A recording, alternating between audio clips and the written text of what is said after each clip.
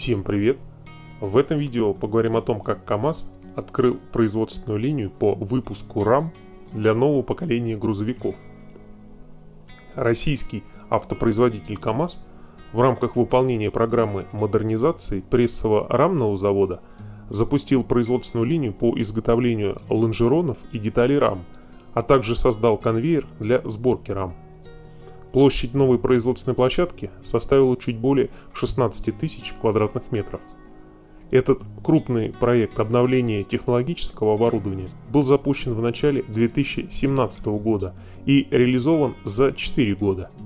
С запуском производства рам КАМАЗ рассчитывает сделать их более прочными и долговечными. Новые рамы для большегрузных автомобилей будут обладать улучшенными коррозийными свойствами. Новые рамы планируется поставлять для грузовых автомобилей КАМАЗ поколения К3, К4 и К5. Их длина будет варьироваться для разных моделей от 5,5 до 14 метров. Первыми получат обновленную раму машины К5. Для 4 и 3 серии новые рамы будут выпускаться со следующего года. Всего же на новой производственной площадке КАМАЗ планирует выпускать до 65 тысяч рам в год – Новая производственная линия будет иметь высокий процент автоматизации. Для изготовления лонжеронов он составит 90%. Лакокрасочный цех будет автоматизирован на 70%.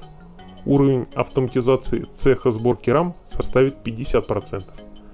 Высокий процент автоматизации позволит снизить операционные издержки при производстве продукции – Производственная линия по выпуску лонжеронов оснащена передовой технологией профилирования, перфорации и лазерной резки, благодаря чему данные детали будут производиться КАМАЗом и с высокопрочной стали с минимальными временными затратами.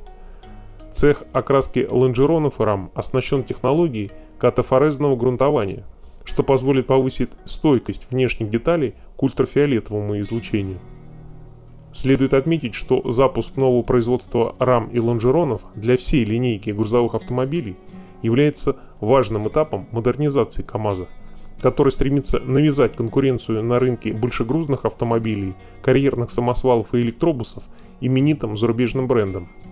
А для этого все значимые детали и агрегаты автомобиля должны иметь лучшие в классе эксплуатационные характеристики, отличаться повышенной надежностью и долговечностью.